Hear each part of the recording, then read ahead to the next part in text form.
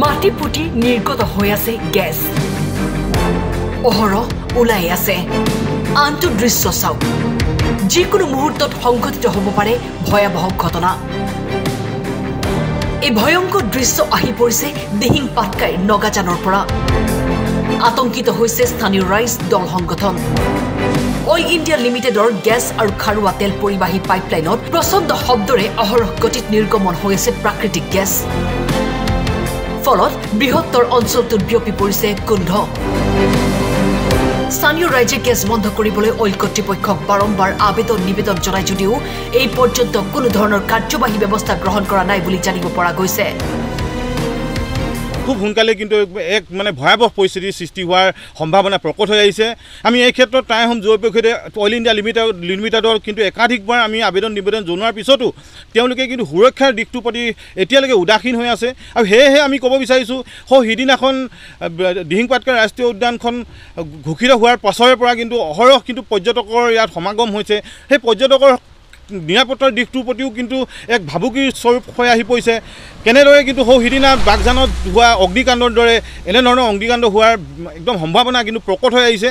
সেয়েহে আমি পুনৰবাৰ আমি আহ্বান জনাইছোঁ এনেধৰণৰ প্ৰায় বিছ পঁচিছটামান স্পট আছে যিসমূহত কিন্তু তেল আৰু গেছ অনবৰতে নিগৰিত হৈ থাকে। সেই স্থানসমূহ কিন্তু সুৰক্ষা আৰু নিৰাপত্তাৰ দিশটোৰ প্ৰতি পুনৰবাৰ অইল ইণ্ডিয়া লিমিটেডে কিন্তু এনেধৰণৰ গাফিলতিবোৰ ৰোধ কৰাৰ ক্ষেত্ৰত বাস্তৱ পদক্ষেপ ল'বলৈ আমি টাইহোম যুৱ পৰিষদৰ পৰা আমি শেষবাৰৰ বাবে আমি সকিয়নি জনাই দিছোঁ।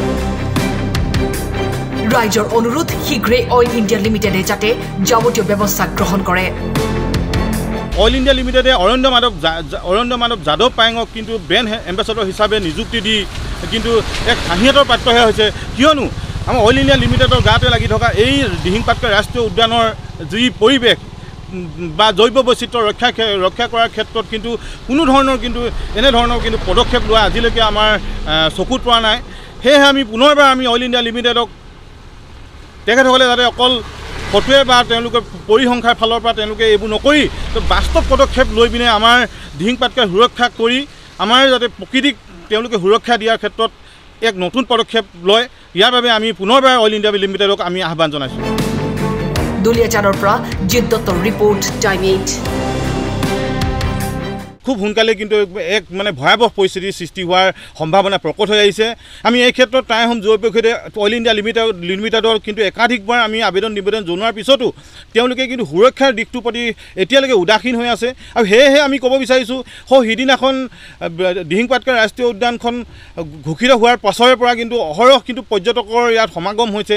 সেই পৰ্যটকৰ নিৰাপত্তাৰ দিশটোৰ প্ৰতিও কিন্তু এক ভাবুকিৰ স্বৰূপ হৈ আহি পৰিছে।